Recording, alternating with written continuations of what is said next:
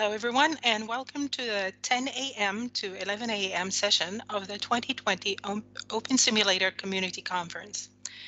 In this session, we are happy to introduce a presentation called Facilitating Content Production and Consumption in 3D Virtual Worlds, Lessons Learned. Our panel host is Ramesh Sharma Ramloll, and he's joined by fellow panelists John Mela, Sue Caxton, Andrew Hellershanks, Ann Nowak, and Ludovic Lotoah. Ramesh is currently the CEO of CEO Deep Semaphore of Deep Semaphore an e-learning and e-learning simulation solutions simulation solutions company. John Mela John where programming software lead, programming lead, module design, module design, control, quality and control, documentation, and documentation. Andrew Hellershank, Andrew Hellershank, Guru, backend Guru, and Nowak Education, and Nowak Education special, Specialist, and Ludovic Lotoah, app designer and lead 3D modeling artist.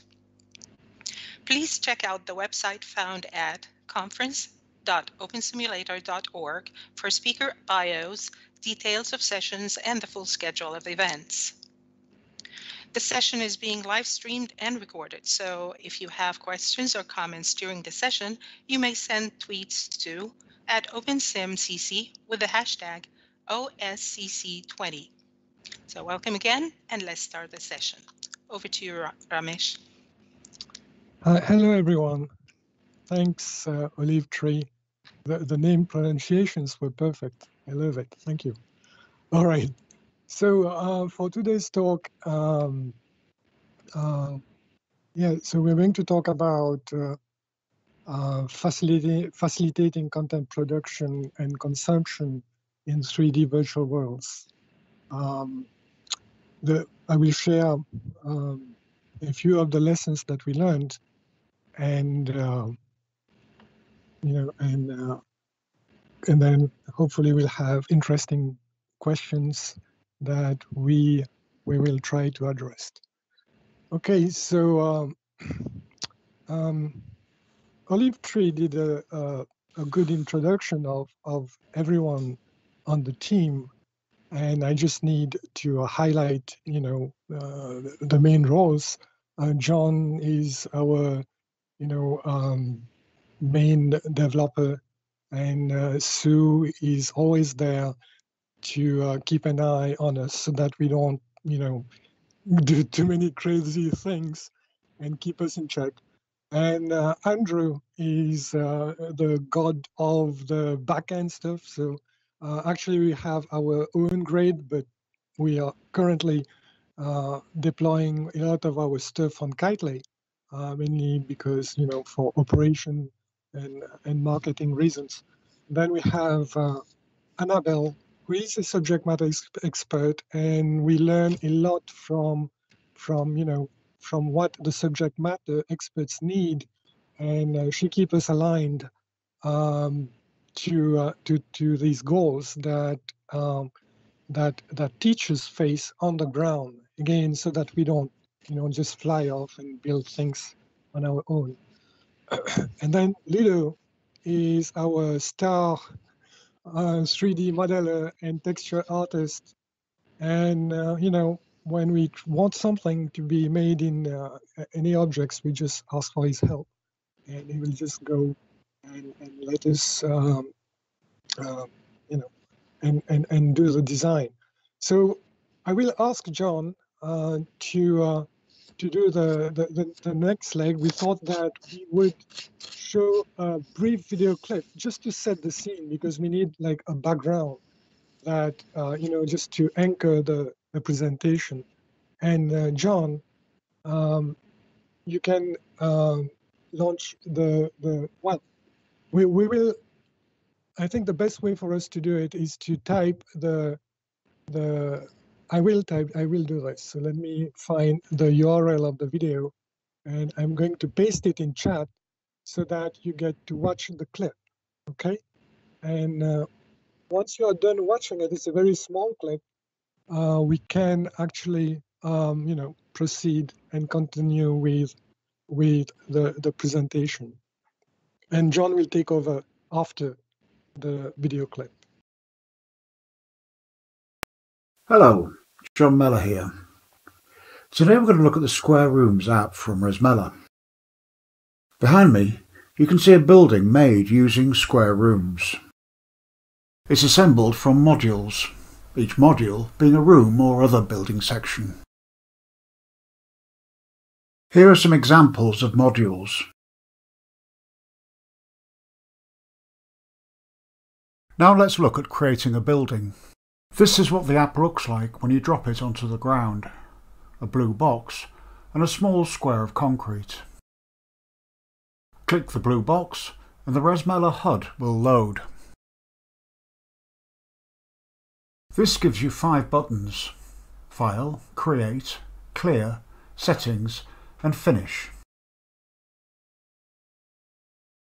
We're going to click Create. You can see now that it's given us a list of categories of objects it has in its library. We're interested in the Layout Tools category, so we click that. Now we see a list of layout objects that we can use to get started.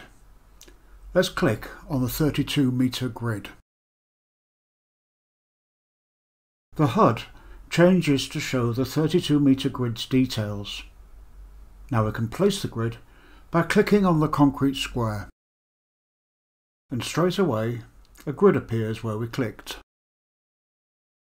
This will form the base for our building. Now let's create our first room. To do this, we want to back out of the 32 metre grid, which we can do by clicking the back arrow here. This takes us back to the Layout Tools category. If we click the back arrow again, we can see the top level categories of objects. We're going to add a square room to our scene, so we click the Square Rooms category. This gives us four subcategories, lower, upper, connectors and garden. The lower category has rooms that are suitable for the ground floor of buildings, so that's what we want here. Now we can see seven different types of room. Some have balconies, some have stairs, and there are different numbers of exits, or doorways.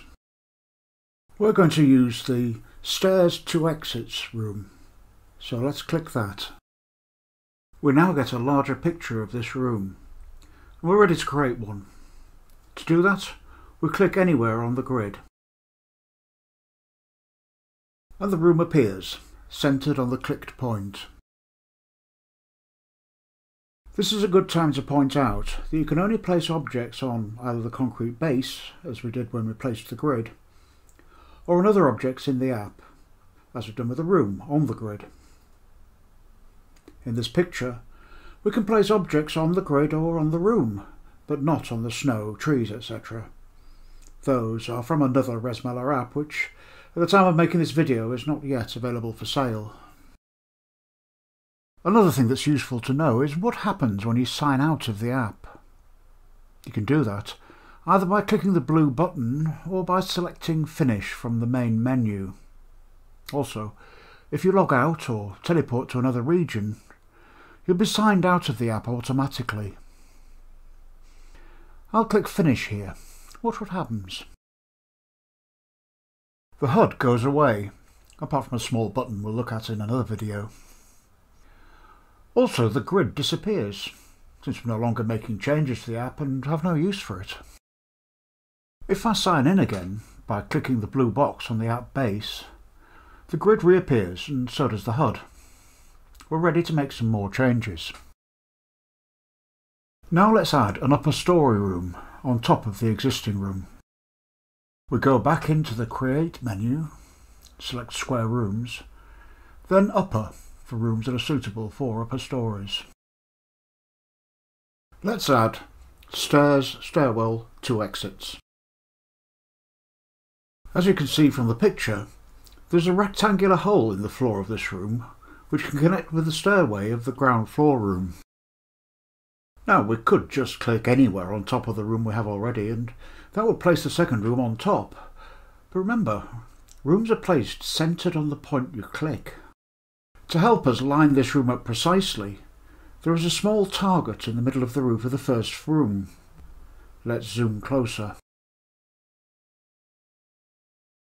If we click on the centre of the target, the new room will appear there.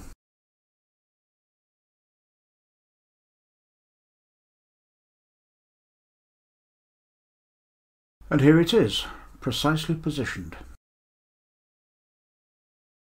However, as you can probably see, it needs to be rotated 90 degrees so that the stairs line up between the two rooms. To do this, first we need to select the room that we want to rotate. To select an object in a RezMela app, you need to long click it, that is, press and hold the left mouse button for a second or two. The room will glow slightly when it's selected, and the menu on the HUD will change to the Selected Object menu. On that menu are various things you can do with the room. In this case we want to rotate it, so we select the Rotate option. Now we're given the choice of the rotation we want to apply. To rotate it 90 degrees clockwise, we can select plus 90 degrees. The stairs now line up precisely. To deselect the room and return to the previous menus, we can use the back arrow on the HUD or simply click the room. Next, let's add a room to the left of the room downstairs, where there's a side door. Again, we want this room to line up accurately, and to help with that, there's a small target. So we select another room from the lower category. No stairs to exits. And place it on the target.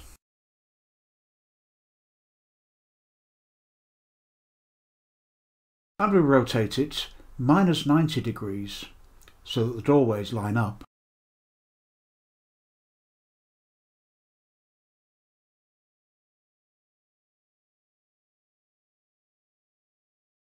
Now let's go to the garden category and select Gazebo 1 Exit, clicking the target to place it.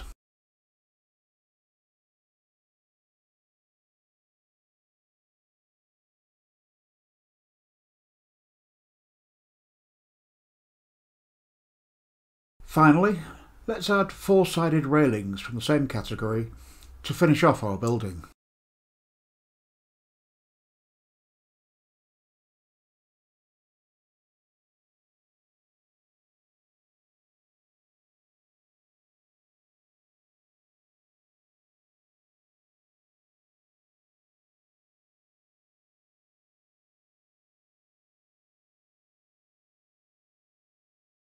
All we need now is some furniture.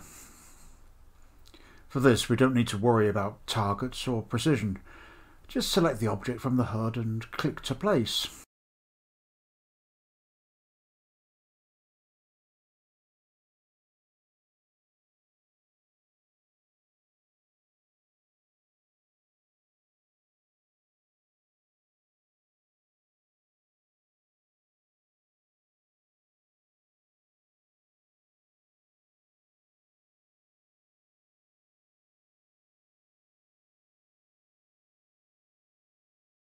Rotate if necessary.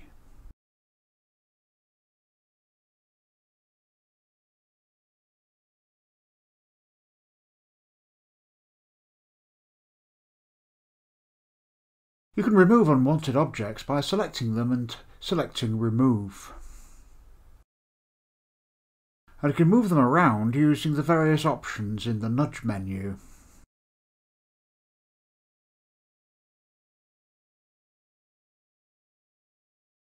I hope this has been a useful introduction to square rooms.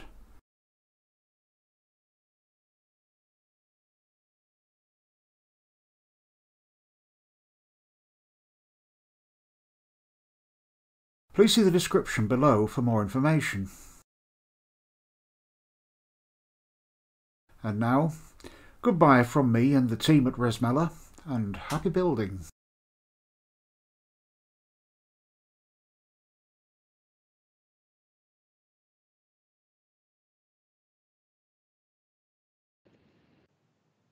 Yes, so after the slide presentation, um, you know, um, I think John can uh, can continue and start talking about the other slides.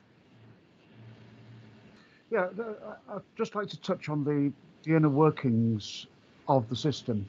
And uh, we've seen the Square Rooms app, and in the coming months, we'll be seeing more and more diverse apps coming out that use features that we've not seen here. It's, it's a pretty complex system. And naturally, when you get something of this complexity, especially when like this, it's, it's written in LSL um, with the benefits and drawbacks that has, uh, it's, it's necessary to divide it into sections. And I just want to sort of briefly touch on that to give people an idea of what they're actually getting and, and how it works. So this diagram shows on the right there is, is the, the part that we saw on the screen. Um, the, the, the actual user HUD that pops up on the on their viewer. And that communicates with a controller script inside the application itself.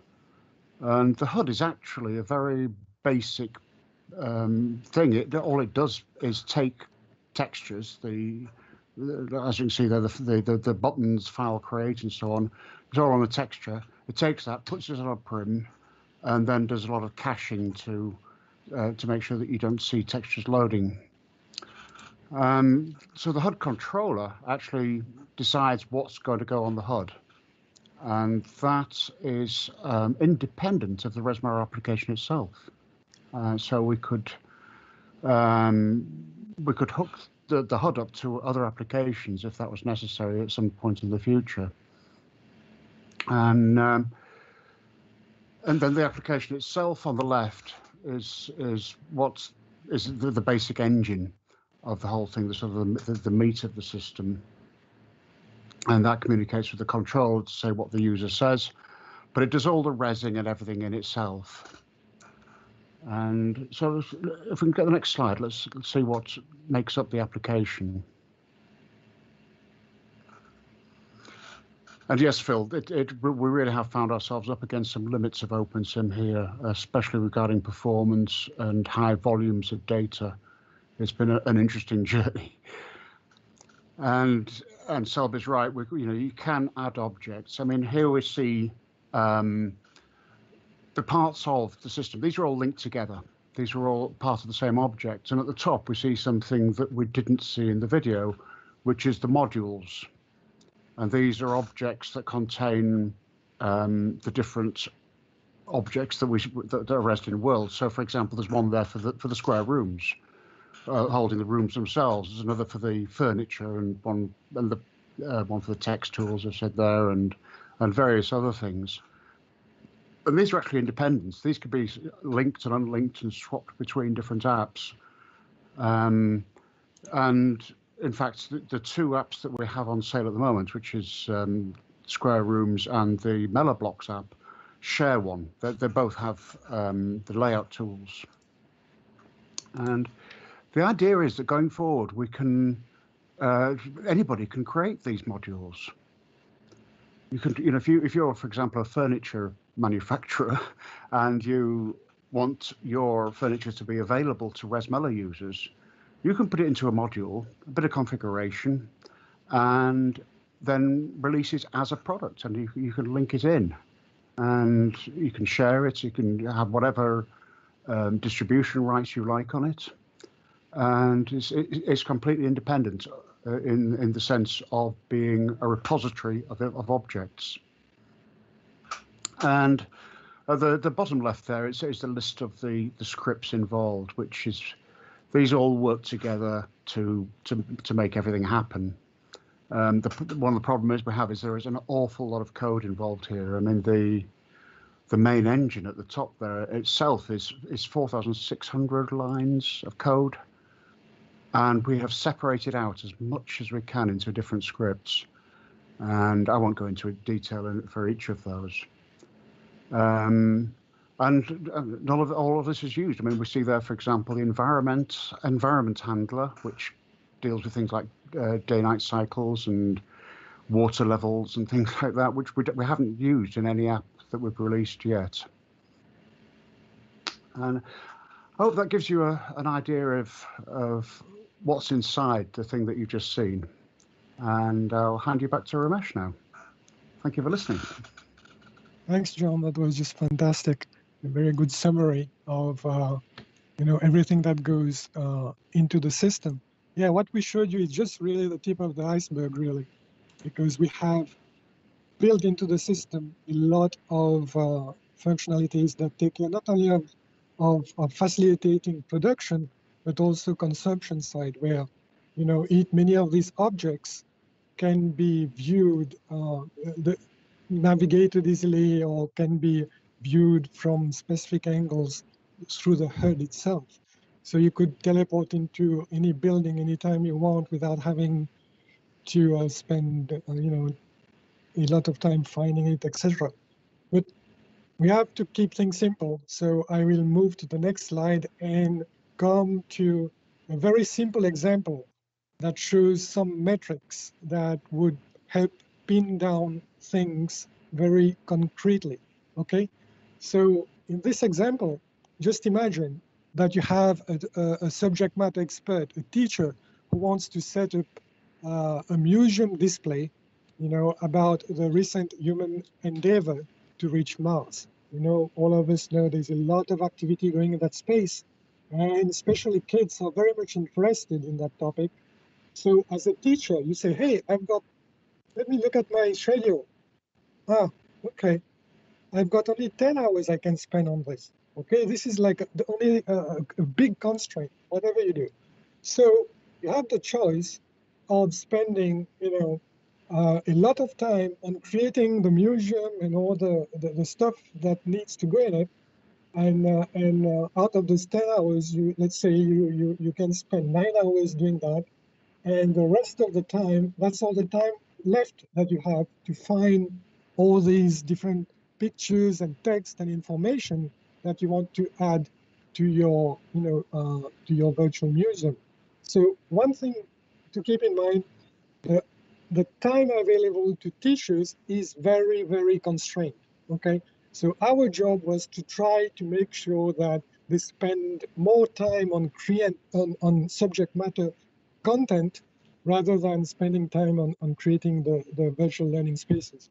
So in this example that we, we will get uh, a few snapshots, you know, I created, for example, um, I, 40 images.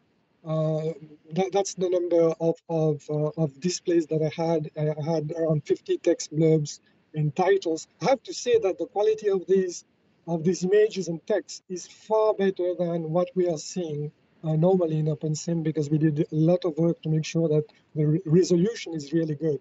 Uh, the second thing is the number of buildings that I would need. I said, okay, well, for my class, I need only two floors, you know, and then I had uh, a separate app that took care of the landscape around, and uh, you know, and I just used the same uh, app. We call these apps just to put the seating arrangements. Okay, so if we look at the table, just to summarize what I just said.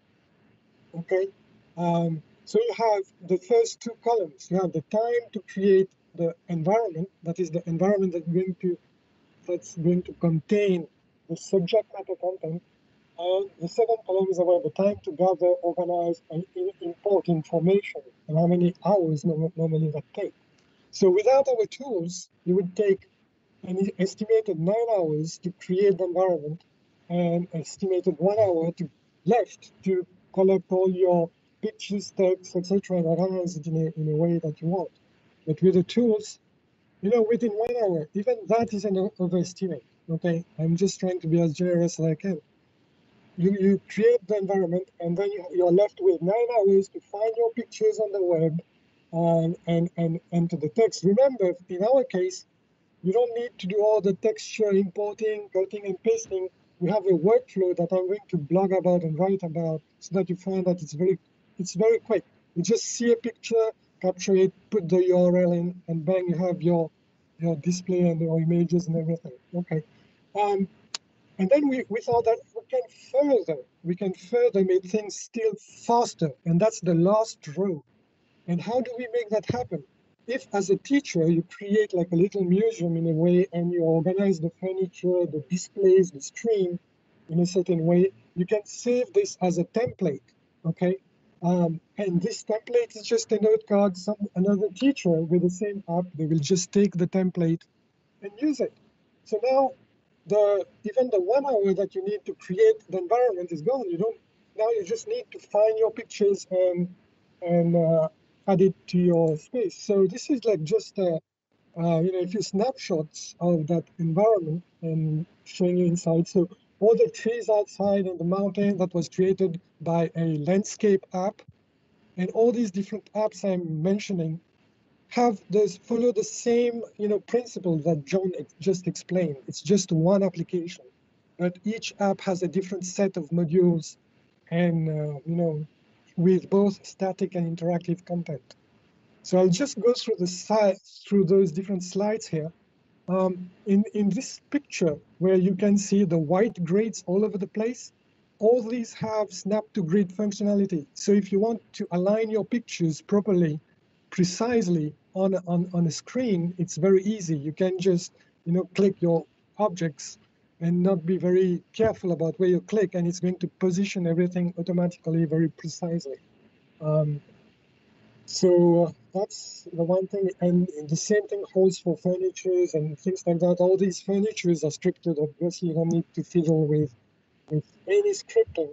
Uh, the board at the background is just like a web browser, but it's fully functional. It's got you, know, you can collect all the bookmarks that you collect actually can appear as objects, like the little books in the rack on the left that you can place and organize.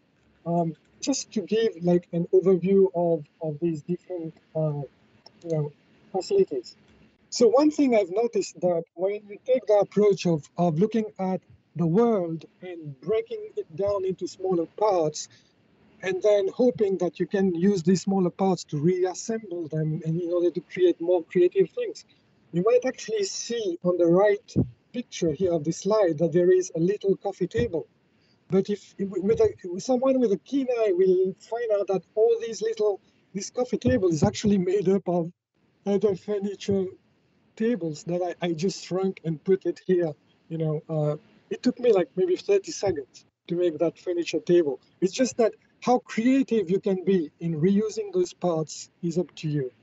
And and it's just think about what we are offering. It's like we are creating like you know, you had Word, Word, WordPress, for example, for creating websites, and you have people creating, you know, lots of, uh, of, of example templates for websites that they can reuse. But it's similar. I mean, it's similar. We have, uh, we have first facilitated content produ production.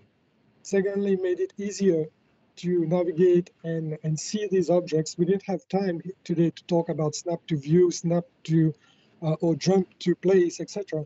That, we, that, that we presented last year. Um, but uh, you can see how we addressed, you know, both ends of the spectrum, production and consumption. Um, and this is just to give an example um, of the wide range of buildings that you can create. So someone, anyone using our application, they can create their own scenes and they are free to put it on the market and sell it you know, and uh, any other person will just buy these note cards and and reuse it.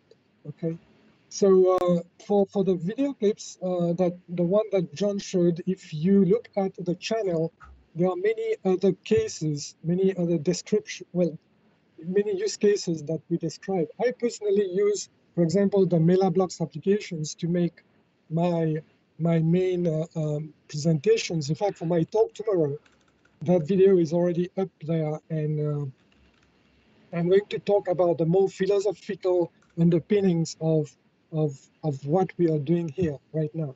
Um, so I think I will. What I'll do here, I'll leave. Um, I'll, I'll take a pause here and uh, we'll we'll, uh, we'll take you know uh, like like feedback and questions, any questions that you have, and we'll try to uh, uh, to answer them.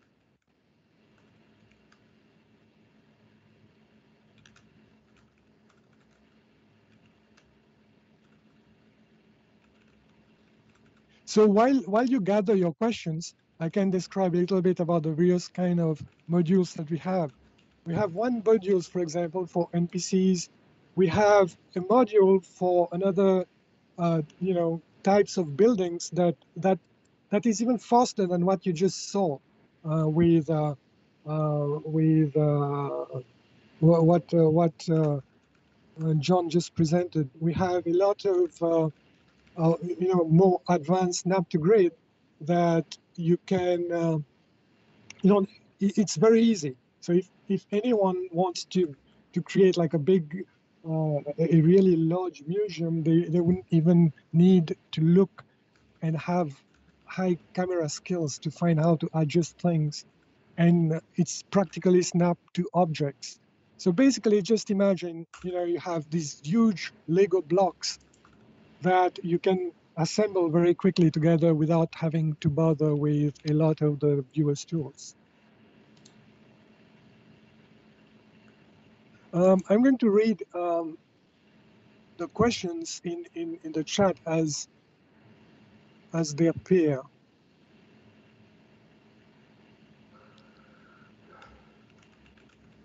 So, so was there any anything that you want me to explain in terms of productivity gains when uh, you know the for subject matter experts?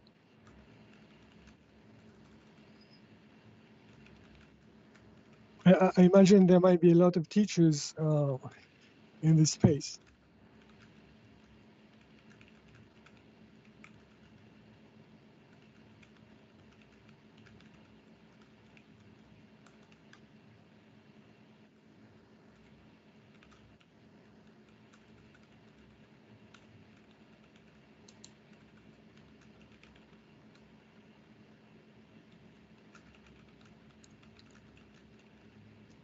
So uh, I think um, I see John is addressing a lot of the questions already. So there are there are a lot of of of uh, you know we have our trajectory really um, very uh, very clear to us, and there's a lot of work to be done, especially for creating and adding more modules and these these tasks, tasks don't necessarily involve a lot of they practically practically don't involve any coding at that level. We just need um, you know people who want to uh, maybe sell their objects to us so that we can use them to create new modules. Um, we are very much interested in in high quality non-player characters because we have modules that could you know uh, that could use them as well, so that somebody could have an app that would allow them to pop out uh, non-player characters, and these can be moved and placed on on the various uh, you know furnitures. You can use that for machinima. You can use that for storytelling. So it's pretty much you know a wide range of applications. Um, in fact, for my presentation tomorrow, you'll, you'll, you'll actually find in practice how I use uh, one of our apps to support my my my talk and uh, and really the the challenge here for us is to really try to make a, a space that has that balances both productivity and social functions. I keep saying that because if there is no reason for people to come in a 3D world to do more than just watching a screen and watching text chat, they won't come. And and uh, and I think that this is a, an issue that that a lot of designers have faced, and uh, and it's a very crucial one. Okay. So uh, th th there are many reasons why um, you know you have alternative technologies from video conferencing, and uh, you know even uh, other uh, domains which are not really 3D are really thriving in this space uh, as far as connecting humans. But for some reason, you know, for, for virtual worlds, it's still it's still not there. And I believe that it's important that we spend a lot more time, you know, creating opportunities for people to find a, a reason to go to 3D worlds. And there are only two ways for doing it. One is by providing a space where they can actually do a job better in 3D in the 3D environment than outside. And the second one is um, you know, it's uh, it's uh, the social aspects, and even for that one, I guess it's kind of hard because even if you go down the higher fidelity route that many have tried and failed, um, it seems that it's very hard to beat the the cheapest solutions reg regarding emo emotional con connections through simple video conferencing. Okay, so I'm still I'm still having like a, a parallel uh, shot here, and um, I see that there are a lot of of, of, uh, of people. Oh, let me talk a little bit about um, the, the, how we connect uh, the virtual world aspects uh, of, of actually developing applications for the virtual world and uh, and the dev team of OpenSim. You know, uh, the one thing that we hope will happen is that is increase the uh, conversations between application builders and dev builders because there's a lot of times where where we, you know, if if we want if you uh, a number of things, you know, when we develop full-blown applications at that level, inevitably we always hit the the nitty-gritty parts of the underlying open OpenSim systems, and uh, and uh, I think that you know um, the, the the what we need at the higher levels, if there's uh, you know an easier way for those needs to percolate down, so that the developers can help us more, I think that that will really help. Um, because we are very, very close to the, we have the opportunity to be close to the users and also close to the developers. So we are building that middle layer that we think is missing.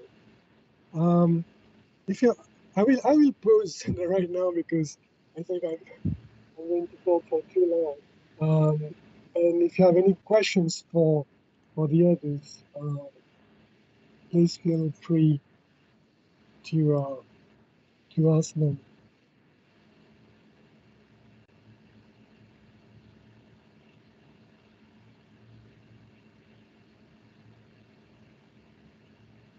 So one thing that, that you should realize about designing and implementing productivity tools, it's always about speed. And it's always about how much time saving happens. Okay. So uh, so that that's that's all our you know what we aim for. And and let me tell you, I am a super builder and I prefer to use my tools only because I save vast amount of time you know, tomorrow I had my talk for uh, for for you know talking a little bit uh, at the end about why we are doing what we are doing.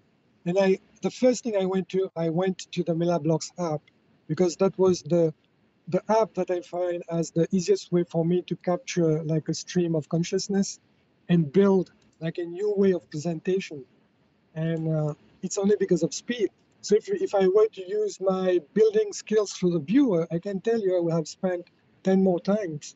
Uh, I mean, instead of spending, let's say one hour, I would have spent a lot more time just to create the same thing. So, so yes, so that's pretty much, I guess, what I what I had to uh, to tell you guys for for for this session. So please reach out to us uh, if you have the skills or the time or the resources. And uh, you know and people who have collaborated with us always end up happy. All right.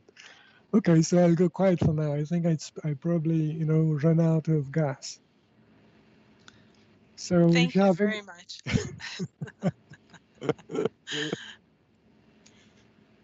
Thank you very much, Ramesh, and uh, to uh, the panelists for a terrific session. All right, as, guys. As a reminder to our audience, you can see what's coming up on the conference schedule at conference.opensimulator.org. Following this session, the next session will begin at 11 a.m. in this keynote region and is entitled State of the Open Simulator Community.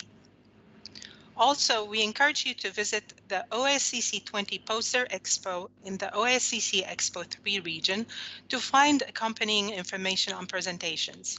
and explore the hypergrid tour resources in OSCC Expo 2 region, along with sponsor and crowdfunder booths located throughout of the OSCC Expo regions.